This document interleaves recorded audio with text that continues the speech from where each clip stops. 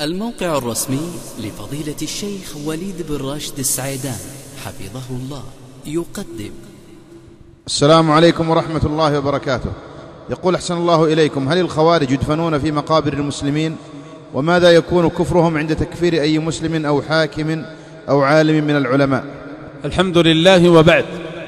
المتقرر في قواعد أهل السنة والجماعة أن فعل الكبيرة ينقص الإيمان ولكن لا ينقض أصل وجوده في القلب. فإذا ارتكب الإنسان شيئا من الكبائر فإن إيمانه ينقص بقدر مخالفته وكبيرته ولكن لا تنقض أصل إيمانه فتخرجه, فتخرجه عن دائرة الإيمان إلى دائرة الكفر. هذا باتفاق أهل السنة والجماعة.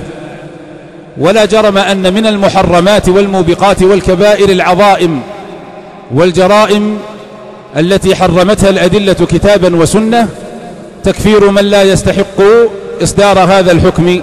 فإذا كفر الإنسان أخاه ظلما وعدوانا وبهتانا فإنه يكون بذلك قد ارتكب كبيرة عظيمة من كبائر الذنوب وموبقات الآثام. لكنها وإن كانت تنقص إيمانه على حسبها إلا أنها لا تخرجه عن دائرة الإسلام بالكلية. فمن وقع في غيره تكفيرا بالظلم والجهل والعدوان فإنه يكون مرتكبا لكبيرة من كبائر الذنوب ولكن لا يخرج عن دائرة الإيمان بالكلية إلا إذا استحل هو هذا التكفير بلا علم. فمن استحل تكفير المسلمين فإنه يكفر.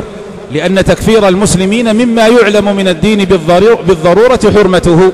والمتقرر عند العلماء أن من استحل معلوما من الدين بالضرورة حرمته فهو فهو كافر.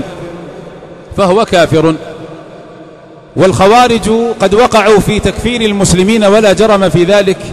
ونحن نعرف من مذاهبهم تكفير الحكام وتكفير كثير من العلماء والصالحين وغيرهم من أفراد الأمة. ولكن هذا التكفير لا يخرج الخوارج عن دائرة الإسلام. لماذا؟ لأنه تكفير بالشبهة هذا أولا ولأنه تكفير بالتأويل هذا ثانيا ولأنه لا يعدو أن يكون كبيرة عظيمة من كبائر الذنوب وفعل الكبيرة لا يخرجها عن دائرة الإسلام. فمن استحل من الخوارج تكفير المسلمين فهو كافر لأنه استحل معلوما من الدين بالضرورة حرمته. وأما من لم يستحل تكفير المسلمين وإنما كفر من اجتهد هو في تكفيره ورآه كافرا على حسب اجتهاده هو فإنه يكون بذلك مرتكبا لحرام وكبيرة ولكن لا تخرجه عن دائرة الإسلام. وقد اختلف أهل العلم رحمهم الله تعالى في حكم الخوارج أكفار هم أم لا؟ على قولين لأهل العلم والقول الصحيح والذي عليه أكثر العلماء أن الخوارج من أهل الكبائر. ولكن ليسوا كفارا أنهم من أهل الكبائر أي من فساق الملة ولكنهم ليسوا بكفار. فنحكم عليهم بأنهم من أهل الكبائر.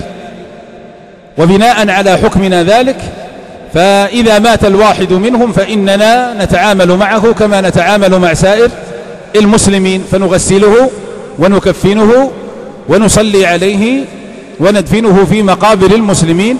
لأن كل من مات ومعه أصل الإيمان والإسلام فإننا نعامله معاملة المسلمين. ولكن استحب كثير من أهل العلم في من مات على شيء من المخالفات العقدية أو السلوكية أن يتخلف عن الصلاة عليه أهل الدين وأهل الصلاح وأهل الفضل والوجهاء في البلد حتى يكون تخلفهم عن الصلاة عليه زاجرا لغيره عن سلوك عن سلوك طريقه ومخالفته. فإذا مات أحد الخوارج نتعامل معه كما نتعامل مع سائر المسلمين ولكن ينبغي أن يتخلف عن الصلاة عليه الوجهاء وأهل الدين وأهل الصلاح. لعل ذلك يكون زاجرا. كما كما تخلف النبي صلى الله عليه وسلم عن الصلاة على من عليه دين لم يترك له وفاء. وترك الصلاة على الغال وترك الصلاة على قاتل نفسه وهكذا. فهذا ترك من باب الزجر لا من باب تكفير لا من باب التكفير بل هو من باب الزجر والله أعلم.